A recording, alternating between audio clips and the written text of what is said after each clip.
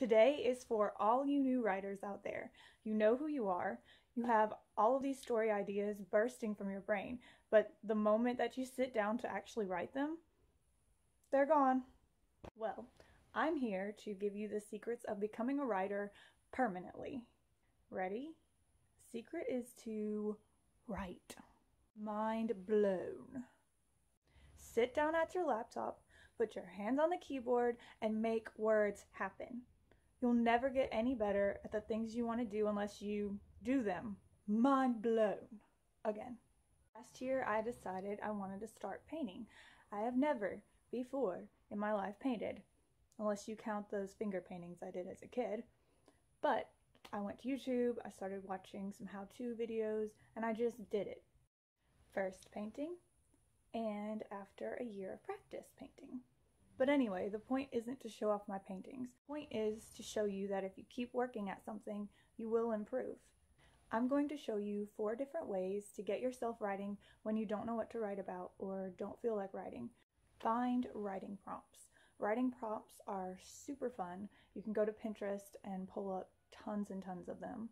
And um, what they are, if you don't know, is just a random sentence or a way to start a story like, what if aliens took over the planet.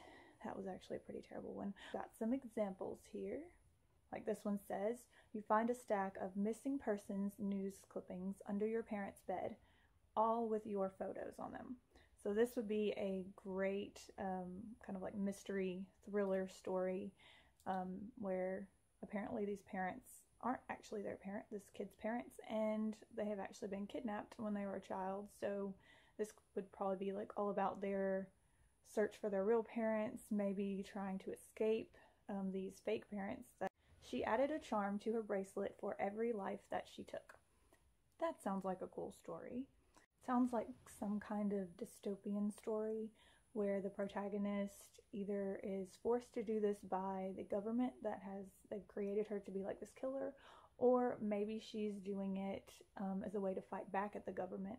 Sometimes prompts will start out with a line of dialogue, like this one is a quick exchange between two characters. It says, I never stood a chance, did I? That's the sad part, once you did. This sounds like a romance to me.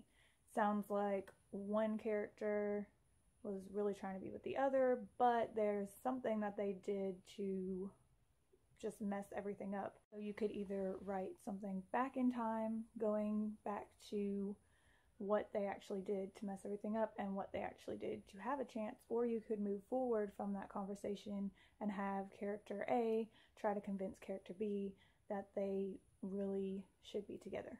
And the last prompt is well, this is a nice change of scenery. It's a prison cell. I was being sarcastic.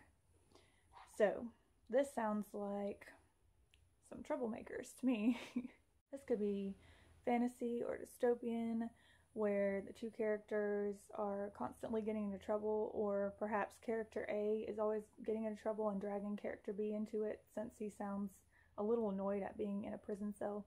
Yeah, you see how fun these prompts can be and how useful they'd be in getting some ideas flowing. Yeah, they're super fun. Number two, your own ideas. Maybe you already have some great ideas for a story and you don't really need any prompts, but you feel like your idea is just too big for you to get started on. You're not sure where to start. And if you don't know much about your story, go ahead and write it down.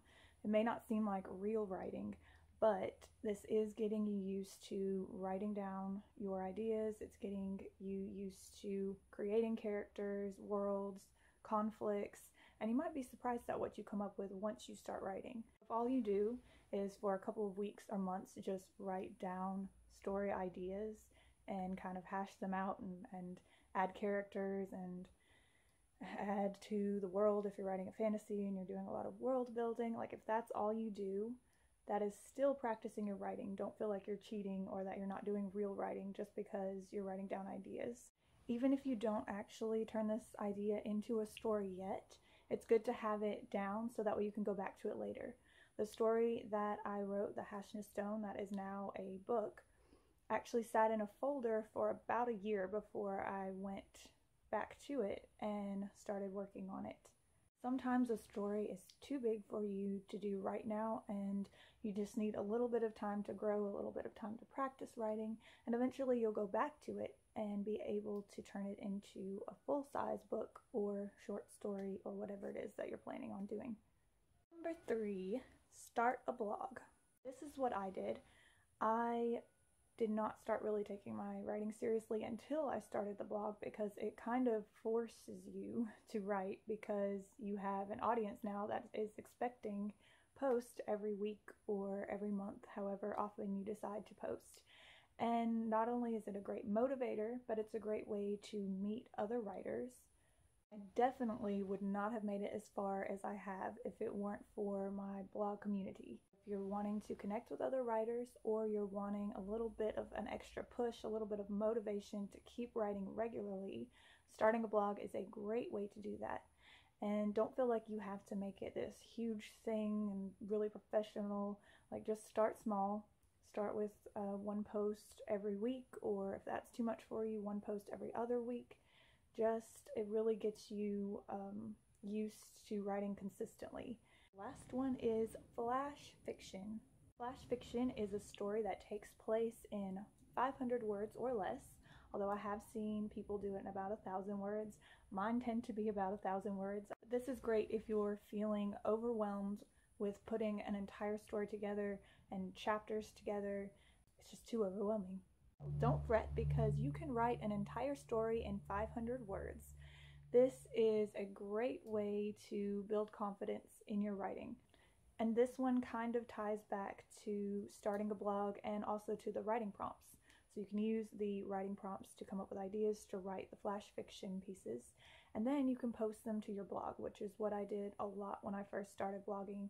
So whether you decide to start a blog or you decide to just write for yourself, or if you use your own ideas or story prompts, whatever you decide to do, the most important thing is to make it a habit. Just stick with it. Um, I see a lot of times uh, writer advice is to write every single day, and some people put a time limit to it, like you have to write an hour a day, you have to write several hours a day. But when you're first starting, don't worry about all that. Make it a habit that you can stick with. And probably the most important thing to remember is to have fun. Try different genres, try different things with your characters, um, if you want to just write a page of dialogue, go for it. This stage, it's all about just writing and seeing where it takes you. So get off this video and go write.